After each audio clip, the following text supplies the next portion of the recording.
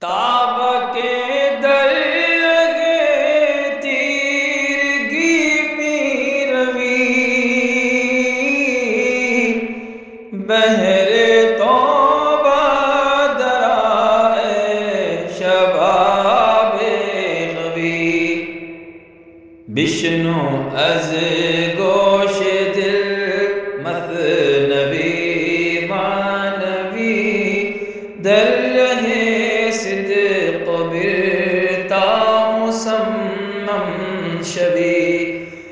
بشنو از گوش دل ما نبی در ره صدق برتا مسمم شبی بسم الله الرحمن الرحيم الحمد لله رب العالمين والصلاة والسلام على سيدنا ومولانا محمد سيد الأنبياء والمرسلين وعلى آله وأصحابه أجمعين أما بعد گزشتہ کے درس میں ہم کو یہ بتایا گیا تھا کہ بڑے لوگ جب کسی پر مہربانی کرتے ہیں، ان کو کچھ عطا کرتے ہیں، کچھ دیتے ہیں، کچھ سخاوت کا مظاہرہ کرتے ہیں، تو وہ تمہاری وجہ سے نہیں ہوتا۔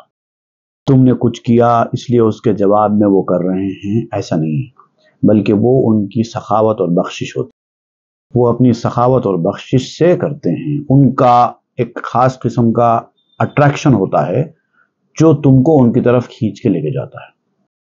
جیسا اس سے پہلے مثال دی گئی تھی کہ ایک بادشاہ نے ایک فقیر کو ایک بڑے دمبے کی ران خیرات کر دی، لیکن چونکہ وہ چھوٹا آدمی تھا، اس کو یہ خبر ہی نہیں تھی کہ ایسا دمبے کی ران بھی کسی کو تحفے میں دی جا سکتی ہے اور اتنی بڑی ران بھی ہوتی ہے، تو اس نے سمجھا کہ شاید یہ گائے کی ران ہوگی۔ تو چونکہ اس کی ذہنیت چھوٹی تھی، اس کا ذہن چھوٹا تھا، اس لیے اس نے ایسا سمجھا۔ لیکن جب سخاوت ہوتی ہے تو دینے والا کس کو دے رہے ہیں؟ کیا دے رہے نہیں دیکھتا بس وہ دے دیتا ہے۔ قیمتی دمبے کی بڑی ران ایک فقیر کو بادشاہ نے خیرات کر دی۔ تو اس لیے نہیں کہ فقیر نے اس بادشاہ کا کوئی فائدہ کیا تھا یا بادشاہ کو اس فقیر سے کوئی غرض تھی، بس سخاوت ہوئی اور اس نے دے دیا۔ تو بڑے لوگ جتنے ہوتے ہیں، جو اعلیٰ ذہن کے، اعلیٰ معیار کے لوگ ہوتے ہیں، ان کو کسی سے کوئی مطلب غرض نہیں ہوتا۔ بلکہ ان کے مزاج کی سخاوت ہوتی ہے، جو وہ کرتے ہیں اور اس کی وجہ سے لوگ اٹریکٹ ہو کے ان کی طرف چلے جاتے ہیں۔ ہوتا تو یہی ہے کہ بڑے لوگوں کے پاس، اہل دل کے پاس، اہل اللہ کے پاس جب کوئی آدمی جاتا ہے، تو اس کے جانے کا کریڈٹ اس کو خود کو نہیں لینا چاہیے۔ کھینچنے والے نے کھینچا، اسی لیے وہ گیا۔ اگر کھینچنے والا نہیں کھینچتا، تو وہ جاتا نہیں تھا۔ ایسا سوچنا چاہیے۔ اب یہاں پر آپ اس کو سمجھاتے ہوئے فرماتے ہیں کہ سلیمان علیہ السلام کے پاس بلقیس کا جو وفد، جو قاصدین کا جو ڈیلیگیشن پہنچا تھا، وہ بھی بلقیس نے نہیں بھیجا تھا، بلکہ سلیمان کی کشش نے ان کو کھینچا تھا۔ اب آگے آپ کیا بیان کرتے ہیں، وہ ہم دیکھیں۔ ہم چنا کے شہ سلیمان در نبرد جذب خیل و لشکر بلقیس کرد۔ جیسا کہ سلیمان علیہ السلام نے جو کھینچا اس دنیا کی جنگ میں، اپنے اپوننٹ کو اپنی طرف جو کھینچا بلخیس کی جماعت کو، ایک لشکر کو بلخیس کے اپنی جانب اٹریکٹ کر لیا۔ تو یہ سلیمان علیہ السلام کے پاس آئے۔ کہ بیائی دے عزیزاں، زود زود کے برامت موجہا از بہر جود۔ سلیمان علیہ السلام نے ان کی طرف توجہ کی۔ تو توجہ کا اثر یہ ہوا کہ اپنی توجہ سے سلیمان علیہ السلام نے ان سے کہا کہ آؤ میری طرف آؤ، جلدی سے اٹریکٹ ہو کر میری طرف، جلدی جلدی آؤ۔ کیونکہ اب رحمت خداوندی کے سمندر میں جوش آ رہا ہے، کرم کا دریا جوش میں ہے، یہ وقت تمہارے لیے بہتر ہے۔ تم ابھی آ جاؤ میرے پاس تو تمہاری بگڑی بن جائے گی۔ اسی لیے سلمان علیہ السلام نے ان کو اپنی طرف کھینچا تھا۔ سوئے ساحل می فشانت بے خطر، جوش موجش ہر زمان صد گہر یہ وہ کرم کا سمندر ہوتا ہے جو کسی خطرے کے بغیر ساحل کی جانب سینکڑوں موتی پھینکتا ہے۔ جب کرم کے دریا میں جوش آتا ہے تو وہ کرم کا دریا ساحل کی طرف اپنے اندر سے نکال نکال کے موتی پھینکتا جاتا ہے۔ اور موتی ساحل کنارے کی طرف پانی کے بہاؤ سے آ جاتے ہیں۔ اگر اس وقت کوئی آدمی جائے اور موتیاں وہاں سے اٹھا لے، تو وہ راتوں رات دولت مند ہو جاتا ہے۔ اور اگر کوئی نہیں گیا، اس کی جانب کوئی توجہ نہیں کی، تو جیسے ہی وہ موج سے وہ موتی سمندر کے ساحل پر آئے تھے، ویسے ہی پھر ایک اور موج آتی ہے اور پھر ان موتیوں کو بہا لے جاتی ہے۔ تو جب کرم کا وقت ہوتا ہے اس وقت پہنچ جانا چاہیے۔ السلا گفتیم، اے اہل رشاد، کی زماں رضواں در جنت کشاد۔ اے ہدایت کے خواہش مندو، اے ہدایت پانے والو، ہم نے دعوت دے دی ہم نے اپنے کرم کے موتیوں کو ساحل پر پھینک دیا ہے۔ جنت کا دروازہ رضوان نے کھول دیا ہے۔ اب دروازہ کھلا ہوا ہے۔ اگر جانا چاہتے ہو تو آ جاؤ۔ اور جب دروازہ بند ہو جائے گا، پھر تم داخل ہونا تو دور کی بات ہے، دروازے کے قریب تک نہیں پٹک پاؤ گے۔ کرم کے معاملات ایسے ہی ہوتے ہیں، جب کرم ہوتا ہے تو دروازے کھول دیے جاتے سلائے عام ہے، یاران نقطہ کے لیے، ہر ایک کے لیے ایک انویٹیشن ہوتا ہے۔ آ جاؤ، جس جس کو آنا ہے آ جاؤ، دروازہ کھلا ہے۔ اور اس وقت جو چلے گئے، ان کی نیا پار۔ اور جو سوچتے رہ گئے اور دروازہ بند ہو گیا، تو پھر باہر کھڑے رہ کر سوچنے کے سوا کوئی چارہ باقی نہیں ہے کہہ دیا جاتا ہے کہ اب بند، اب دروازہ بند ہو چکا۔ پس سلیما گفت، اے پیکاں رویت، سوئے بلخی سو دی، بگ رویت۔ تو سلیمان علیہ السلام نے ان خاصدوں سے کہا کہ جاؤ بلخیس کے پاس لوٹو اور جا کر اس سے کہو کہ دین کے گرویدہ ہو جاؤ۔ دین میں داخل ہو جاؤ۔ تم بھی دین میں داخل ہو جانا اور جا کر یہ پیام بھی بلخیس کو پہنچا دینا کہ تمہارے سونے سے ہم کو کوئی واسطہ نہیں ہے۔ ہم چاہتے ہیں کہ تم دین میں داخل ہو جاؤ۔ ہدایت کا راستہ اختیار۔ اور یہ کرم کا وقت ہے۔ اس کرم کے وقت کو ضائع ہونے مت دو۔ پس بگوئی دش بیا ایجا تمام۔ زد کا ان اللہ یدعو بالسلام۔ اور بلخیس سے جا کر کہو کہ اب قاصدوں کے ذریعے ہم کلامی میسیج کے ایکسچینج کرنے کا وقت گزر چکا ہے۔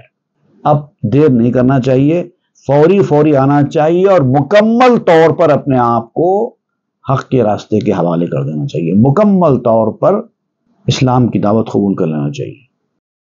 جلدی جاؤ اور جا کے میسیج پہنچاؤ، کیونکہ اللہ تعالیٰ بندوں کو سلامتی کی طرف بلا رہا ہے۔ ہی بیا اے طالب دولت شتاب کے فتو ہستی زمان و فتح باب۔ اس دولت کے طلب کرنے والوں دیر مت کرو، جلدی آؤ، کیونکہ اس وقت اللہ تعالیٰ کے کرم کا دریا جوش میں ہے۔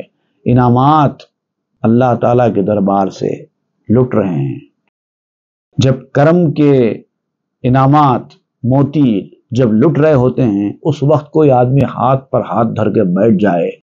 اور بعد میں جب یہ وقت ختم ہو جائے، اس کے بعد آئے، تو وہ حاصل نہیں کر پاتا جو کرم کے وقت حاصل کرتا ہے۔ کیونکہ اب دروازے کھلے۔ اے کہ تو طالب نہیں، تو ہم تا طلب یابی ازاں یار وفا۔ جو طلب کرنے والے ہیں، ان کو تو فوری آ جانا چاہیے، دیر نہیں کرنا چاہیے۔ اور جو طلب کرنے والے نہیں ہیں، ان کو اس کی اہمیت ہی معلوم نہیں ہے۔ کوئی کوئی بھی آدمی طلب کب کرے گا؟ جبکہ اس کی اہمیت اس کو معلوم ہوگی تو طلب کرے گا۔ اب کسی کو اس کی اہمیت ہی معلوم نہیں ہے تو وہ کیوں طلب کرے گا؟ اب ان سے خطاب کرتے ہوئے کہتے ہیں کہ اے وہ شخص جو طلب کرنے والا نہیں ہے، تو بھی آ جا۔ تا طلب یابی ازا یار وفا۔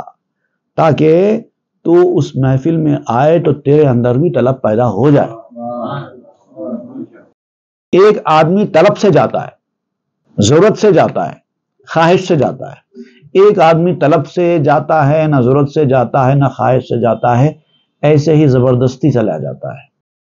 یا تو ایسے ہی بادل ناخواستہ چلا جاتا ہے، یا کسی کے اصرار پر چلا جاتا ہے، یا صرف تماشا دیکھنے کے ارادے سے جاتا ہے۔ لیکن جب جاتا ہے اور اس کا، اس کو مزہ لگ جاتا ہے، تو اب وہ طالب بن جاتا ہے۔ تو جو طلب کرنے والا نہیں ہے، اس سے بھی کہو کیا ہے۔ ملک برہم زن تو ادہم وار زود تابیابی ہم چو ملک خلود۔ ابراہیم بن ادہم رحمت اللہ علیہ کی طرح۔ اپنے دنیا کی اس بادشاہت کو، دنیا داری کو، دنیا کی سلطنت کو چھوڑ دو۔ بائے بائے بول دو۔ یہ سب عارضی چیزیں، بیکار چیزیں ہیں۔ اتنی بڑی سلطنت حضرت ابراہیم بن ادہم نے کیوں چھوڑی؟ کس کو خواہش نہیں ہوتی ہے؟ سلطنت، مال، دولت، عزت، ہر چیز حاصل کرنے کی۔ حضرت ابراہیم بن ادہم کے پاس کیا نہیں تھا؟ ایسی بڑی سلطنت، ایسی بڑی حکمرانی تھی، کیوں چھوڑ دیا اس کو؟ اس کے پیچھے کا فلسفہ جاننے کی کوشش کرو۔ حقیقت کے پردے ان کی آنکھوں سے اڑ گئے تھے نا۔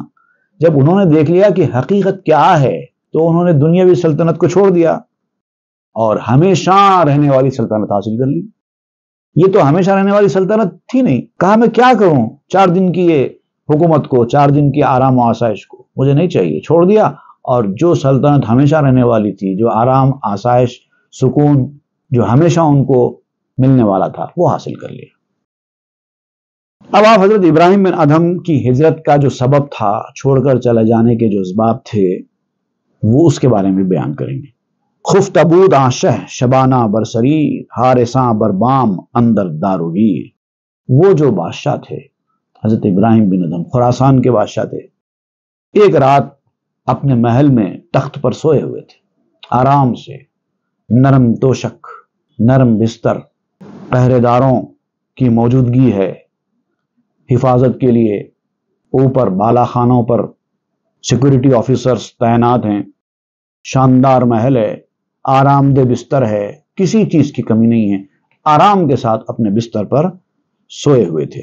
ہارساں برمام، اندر داروگیر اور جو بالا خانے پر جو حارث تھے، جو سیکورٹی گارڈز تھے، وہ حفاظت کرتے ہوئے ٹھہرے تھے، نگرانی کرتے ہوئے۔ قصد شاہ از حارثاں آہم نبوت کے کنت زاں دف دزدان و رنود۔ اور یہ جو حفاظت کرنے والے ہوتے نا، بادشاہوں کے دربار میں محلات کے اوپر کھڑے ہوئے ہتھیار ہاتھ میں لے کر حفاظت کرنے والے ہوتے ہیں۔ یہ دنیاوی بادشاہوں کے پاس ہوتے ہیں، لیکن جو اللہ والے جو لوگ ہوتے نا، ان کے پاس جو محافظین ہوتے ہیں، وہ ان کی حفاظت کے لیے نہیں ہوتے، بلکہ اس کے پیچھے ایک اور مقصد ہوتا ہے۔ وہ چوروں کو اندر داخل ہونے سے یا ڈاکوؤں اور دشمنوں کو اندر داخل ہونے سے روکنے کے لیے نہیں ہوتے، اس کے کوئی اور اسباب ہوتے ہیں۔ او ہمی دانست کانکو عادلست، فارغست از واقعہ، ایمن دلست۔ جو بادشاہ رعایا کو خوش نہیں رکھ پاتے، ان کو سیکورٹی کی ضرورت پڑتی ہے۔ کوئی ایک آدمی بھی اگر بادشاہ سے ناراض ہے، تو وہ اس کے جان کے در پہ ہو جاتا ہے، اس لیے سیکورٹی رکھنا پڑتا ہے۔ اگر ملک کے سارے شہری دل و جان سے بادشاہ کو چاہنے والے ہوں گے، تو بادشاہ کو سیکورٹی کی کیا ضرورت پڑے گی؟ جو انصاف والے حکمران ہوتے ہیں، ان کو سیکورٹی کی ضرورت نہیں پڑتی، کیونکہ ان کا کوئی دشمن نہیں ہوتا، سب چاہنے والے ہوتے ہیں۔ تو یہ بھی انصاف والے بادشاہ تھے۔ ان کو سیکورٹی کی ضرورت نہیں تھی۔ وہ تو کسی بھی قسم کے حادثے سے ایکسیڈنٹ سے، حملے سے بے نیاز تھے۔ اور مطمئن دل رکھتے تھے، ان کو خوف بھی کچھ نہیں تھا۔ آرام سے سو رہے تھے اپنے بستر۔ عدل باشد پاس بانے کام ہا، نئے بشپ چوبک زنا بر بام ہا۔ مقاصد کا جو محافظ ہوتا ہے، وہ انصاف ہوتا ہے۔ اگر انصاف ہے، تو اس کو کسی بیرونی محافظ کی ضرورت نہیں ہے۔ جہاں رعایا کے ساتھ انصاف نہ ہوگا، کسی کو لگے گا کہ ہمارے ساتھ نا انصافی ہو رہی ہے، تو وہ حملہ کرنے کے در پہ ہوگا، دشمن بنے گا، تب محافظ کی ضرورت پڑے گی۔ ایسے لوگوں کو محافظین چوروں کے ڈر سے یا جان کے دشمنوں کے ڈر سے نہیں رکھے جاتے۔ لیک بدھ مقصود اشس بانگے رباب ہم چو مشتاخاں خیال آن خطاب۔ اب آپ کہتے ہیں کہ یہ جو حضرت ابراہیم بن ادم کے محل کے بالا خانے پر جو محافظین تھے، جن کے ہاتھوں میں ہتھیار نہیں تھے، بلکہ ان کے ہاتھوں میں میوزیکل انسٹرومنٹس تھے، وہ بجاتے رہتے تھے۔ اور جیسا صوفیہ کے پاس ایک سما ہوتا ہے، موسیقی کے ساتھ سنتے ہیں، تو یہ ان آوازوں کے گرویدہ ہوتے ہیں، اس لیے ان کو بجانے کے لیے معمور رکھا جاتا ہے۔ اور ان کو معاملہ یہ ہوتا ہے کہ وہ ان آوازوں کے ذریعے اپنے اس زندگی کو یاد کرتے ہیں جب وہ عالم ارواح میں تھے، جب ان کے ساتھ سوال کیا گیا تھا، کیا میں تمہارا رب نہیں ہوں؟ وہ ایک ریتمک آواز تھی میوزیکل آواز تھی۔ اور جنت میں بھی جب آدم علیہ السلام کو ڈالا گیا تھا، تو وہاں پر جنت میں جو آوازیں ہیں، وہ بھی پوری میوزیکل آوازیں ہوتی ہیں۔ اب ہم نے دنیا میں آنے کے بعد دنیا کے آب و گل کی دنیا کہتے ہیں نا، مٹی اور پانی کی دنیا یہ اس میں آنے کے بعد ہم نے وہ ساری آوازوں کو جو عالم ارواح میں ہم نے سنی تھی، عالم لاہوت میں ہم نے سنی تھی، وہ جنت کی پیاری پیاری آوازیں سب بھلا بیٹھے ہیں۔ لیکن یہ جو میوزک ہے، ان آوازوں کا، ان آوازوں سے تعلق ہے۔ جن کو وہ دنیا کی زندگی یاد ہوتی ہے، یاد دلائی جاتی ہے، وہ ان آوازوں سے موسیقی کی اس کو یاد کر کے اپنے دل کو سکون پہنچاتے ہیں۔ نالے سرنا و تحدید دہل، چیز کے مانت بدان ناخور کل۔ یہ جو نفیری کی آواز کہتے ہیں اس کو۔ سرنا، بانسری کی آواز۔ یہ آواز اور ڈھول کی دھمک جو ڈھول بچتا ہے اس آواز کے ساتھ، سر اور تال۔ اس کے ساتھ وہ اس کا مزہ لیتے ہیں۔ اس زندگی کے جو آوازیں ہیں اس عالم کی جو آوازیں ہیں، اس کا مزہ لے کے اپنے دل کو سکون پہنچاتے ہیں۔ پس حکیمہ گفت اند ای لہن ہا از دوارے چرخ بگریفتے ماں۔ بعض حکیموں نے، بعض بڑے لوگوں نے یہ کہا ہے کہ یہ جو راگ راگنی ہیں، میوزک کے اندر جو ہوتے ہیں، یہ اصل آسمان کی گردش سے لیے ہوئے ہیں۔ اس کا تعلق آسمان کی گردش سے ہے۔ ایسا دنیا میں میوزک تیار نہیں ہوئی ہے۔ میوزک کے پورے جو بیسکس ہیں، پورے آسمان سے آئے ہیں۔ جیسے کہ ایک بہت خاص بات کہی جاتی ہے میوزک میں۔ میوزک میں مقام بارہ مقام ہوتے ہیں۔ بارہ مقام سے مراد یہ ہے کہ نوٹس کیز جو ہوتے ہیں نا ہارمونیم کے جو کیز ہوتے ہیں نوٹس جس کو کہتے ہیں۔ ڈی کے ساتھ نوٹس یہ بارہ ہوتے ہیں۔ اور آسمان کے برج بھی بارہ ہیں۔ اب میں آپ کو بتاتا ہوں۔ میوزیکل نوٹس میں کیا کیا آتا ہے؟ سی جو بارہ مقامات ہیں، جو بارہ نوٹس ہیں کیز ہیں میوزک کے، وہ اس کے نام بتا رہا ہوں۔ سی سی شارپ اور سی شارپ کا ایک نام ہے ڈی فلیٹ بھی ہے۔ اس کے بعد تیسرا ہوتا ہے ڈی پھر چوتھا ہوتا ہے ڈی شارپ اس کو e ای فلیٹ بھی کہتے ہیں۔ پھر پانچواں ہوتا ہے ای پھر اس کے بعد ہوتا ہے ایف پھر ہوتا ہے ایف شارپ اس کو جی فلیٹ بھی کہتے ہیں۔ پھر نواں ہوتا ہے جی شارپ پھر دسواں ہوتا ہے اے پھر گیارہواں ہوتا ہے اے شارپ یا بی فلیٹ پھر بارہواں ہوتا ہے بی اس طرح سے بارہ نوٹس ہوتے ہیں میوزک کے. اور آپ دیکھیے کہ یہ لیے گئے ہیں آسمان کے بارہ برجوں سے. اب آسمان کے بارہ برج کون سے ہیں؟ ایک حمل، ایک سور ایک جوزا، سرطان، اسد سمبلا میزان. یہ جو جتنے ہیں، اقرب، یہ سب، اس کو انگریزی میں ہم زوڈیک سائنس کہتے ہیں. Aries, Cancer, Leo, Virgo Scorpio اس طرح سے جو ہوتے ہیں، یہ دو بارہ بارہ کا ایک دوسرے کے ساتھ لنک ہے۔ اسی طریقے سے میوزک میں سر بھی ساتھ ہوتے ہیں، یہ تو سب جانتے ہیں، سارے گا ما پا دانی یہ سات سر ہوتے ہیں۔ یہ سات سیاروں سے لیے گئے ہیں۔ سات سیارے تو آپ جانتے ہیں۔ اس کے بعد ہے پھر میوزک کے بارہ شعبے ہو، چوبیس شعبے ہوتے ہیں۔ میجرس کہتے ہیں ان کو میوزک کی لینگویج میں، ٹوینٹی فور میجرس یہ چوبیس ہوتے ہیں اور یہ چوبیس گھنٹوں سے لیے گئے ہیں۔ آسمان کے اوپر جو سورج زمین کے اوپر نکلتا ہے، اس کا جو ٹوینٹی فور آورس کا جو دن ہے، اس سے لیے گئے۔ پھر میوزک میں فورٹی ایٹ اسکیل بتائے جاتے ہیں، جس کو ترکیبیں کہا جاتا ہے۔ اور یہ اڑتالیس ہفتے جو ہوتے ہیں سال کے، اس سے لیے گئے ہیں۔ فورٹی ایٹ اسکیلس ہیں میوزک کے۔ اس میں بھی ایسی ہے C major G D A E B اس طرح سے ہوتے ہیں، پھر اس کے بعد C minor G minor D minor A minor اس طرح سے ہوتے ہیں۔ ایف شارپ سی شارپ یہ پورے فورٹی ایٹ اسکیلس ہیں۔ تو ایک دوسرے کا آسمانی دنیا سے میوزک کی دنیا کا بہت خاص لگا ہوا ہے۔ اس لیے جو لوگ آسمانی دنیا کے مشتاق ہوتے ہیں، ان کو میوزک پسند آتی ہے۔ اسی لیے آپ دیکھیں گے صوفیہ کے پاس میوزک کی اہمیت ہے۔ اب جن کو اس دنیا سے کوئی واسطہ ہی نہیں ہے، تو ان کو میوزک سے کیا لینا دینا ہے؟ بانگ گردش ہائے چرخستی کے خلق نی سرائے دش بے تمبور بے حلق۔ یہ آسمان کی گردشوں کی آوازیں ہیں، جس کو لوگ میوزیکل انسٹرومنٹس میں استعمال کرتے ہیں، جن کو لوگ اپنے گلوں سے نکالتے ہیں۔ اب یہ جو آوازیں جو میں نے بتایا ہے نوٹس اور اسکیلس وغیرہ کے بارے میں جو میں نے بتایا ہے، یہ سب کے سب انسان کے گلے کے اندر ہوتے ہیں۔ جو لوگ پریکٹس کرنے والے ہوتے ہیں نا، دیکھیں آپ ان کو جیسے جیسے وہ نوٹس پر انگلی رکھتے ہیں کی بورڈز پر انگلی رکھتے ہیں، ساتھ میں آواز بھی نکالتے جاتے ہیں۔ سارے گا ما یہ جو دونوں کا جو کمبینیشن ہوتا ہے، تو کہتے ہیں یہ دونوں کا تعلق اس دنیا سے نہیں ہے، یہ آسمانی دنیا سے آئے ہیں۔ مومنہ گویند کا سارے بہشت نغز گردانی دھر آواز زشت۔ اور جو ایمان والے لوگ ہوتے ہیں، وہ کہتے ہیں کہ جنت کے آثار نے ہر بھدی آواز کو حسین بنایا ہے۔ انسان کی آوازیں بھدی ہوتی ہیں۔ بہت ہی بھدی آواز والا انسان ہے، جیسے کہ جانوروں کی آواز ہے۔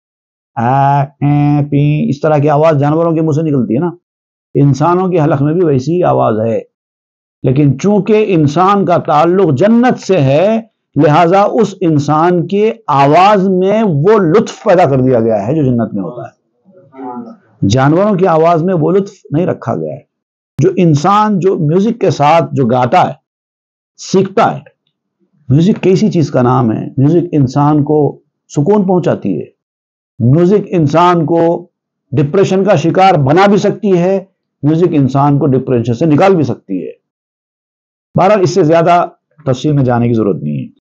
ماں ہما اجزائے آدم بودائم در بہشت آن لہن ہا بشنودائم اب جنت میں جیسا کہ کہا گیا ہے کہ جنت میں سے لی گئی ہیں یہ آوازیں۔ تو اب آپ تو جنت میں گئے نہیں کبھی آپ کو کیسے پتا؟ تو مولانا روم فرماتے ہیں کہ آدم علیہ السلام کو تو جنت میں ڈالا گیا تھا نا، تو تم تو اسی کی اولاد ہو۔ تو وہ جو آدم علیہ السلام کی سرشت میں جو میوزک داخل ہو چکی ہے وہی میوزک نیچے تک منتقل ہو رہی ہے۔ آدم علیہ السلام کے اجزاء تو تھے نا جنت میں۔ انہوں نے تو سنے نا وہ آوازیں۔ وہی اثرات ہیں جو ان کی اولاد میں آ گئے۔ گرچہ برما ریخت آبو گل شکے، یاد ماں آید ازاں اندکے۔ یہ جو دنیا کی جو زندگی ہے ہماری، ہمارا جو جسم ہے، یہ مٹی اور پانی سے بنا ہوا، یہ جسم میں ہماری روح آنے کے بعد جسم ہماری روح کے اوپر غالب آ چکا ہے، جس کی وجہ سے جو جنت کی اور آسمان کی چیزیں ہیں، ان کے بارے میں ہمارے اندر شک پیدا ہو گیا ہے۔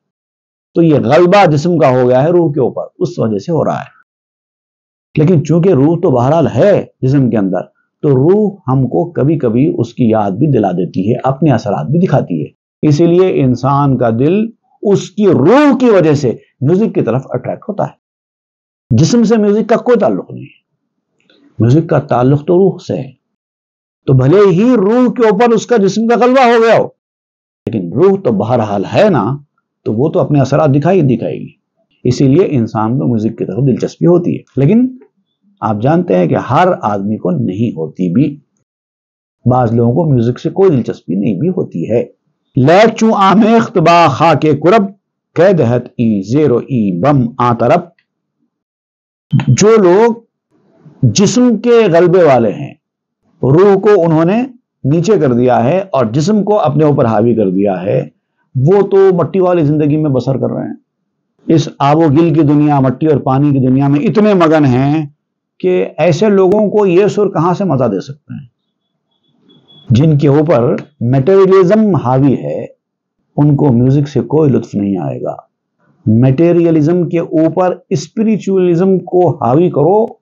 تب پتا چلے گا میوزک کیا مزہ دینے والی چیز ہے۔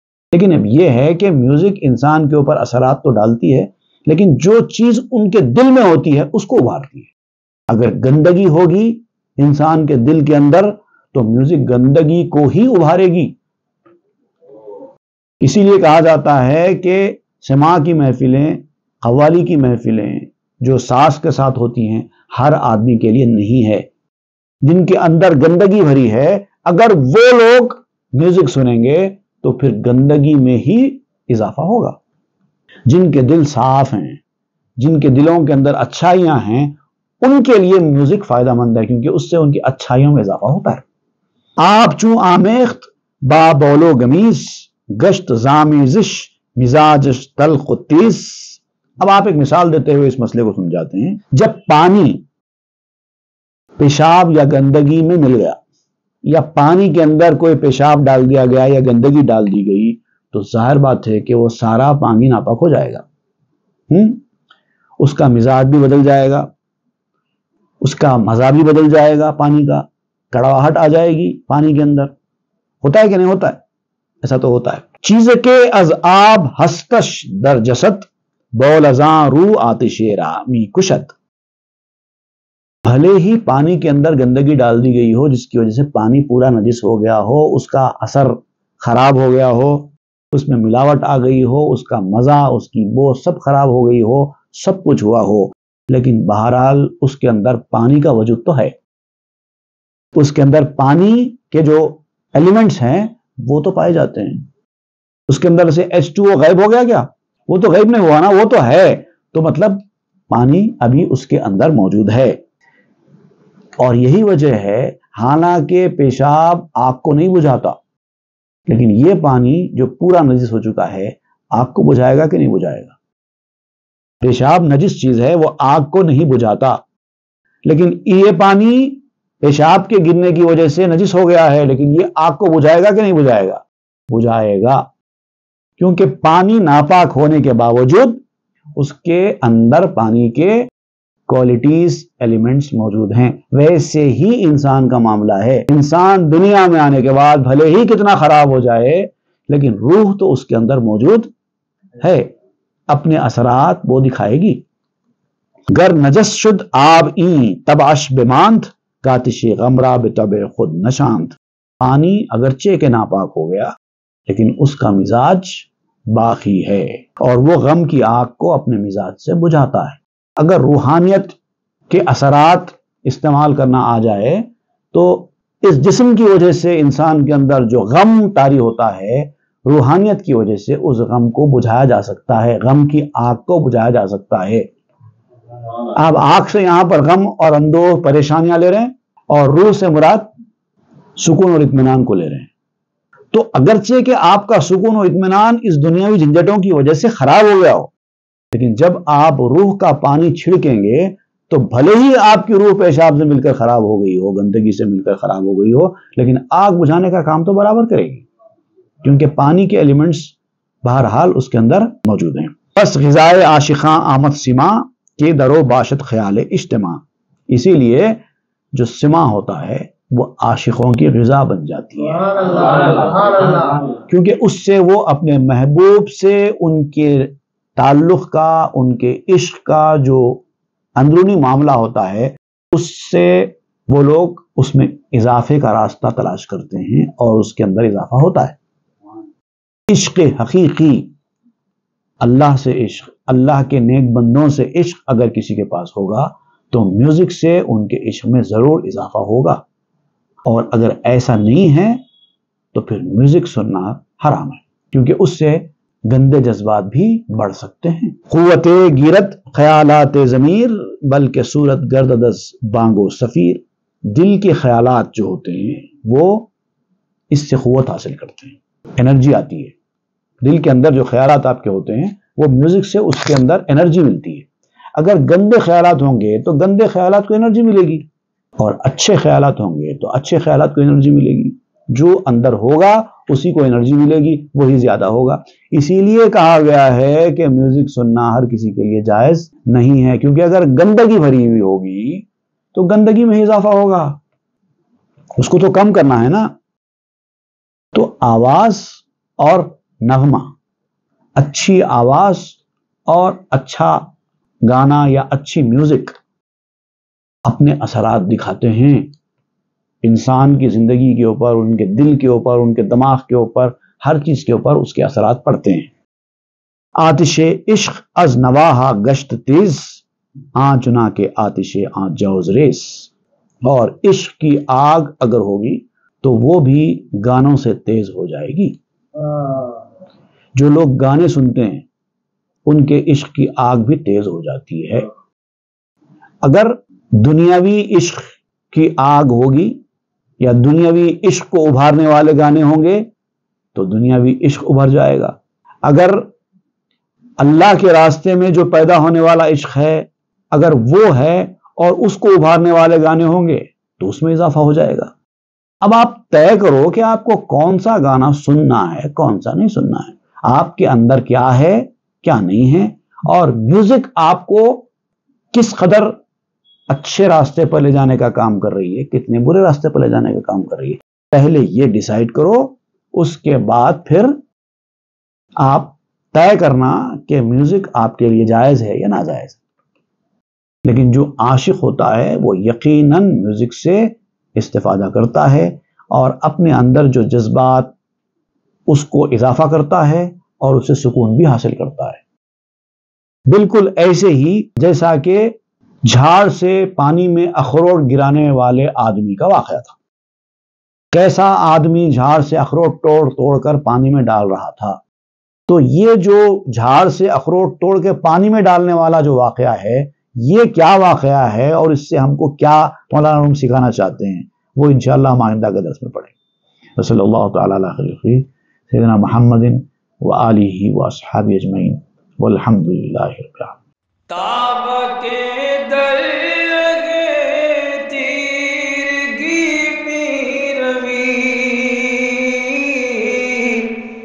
بہر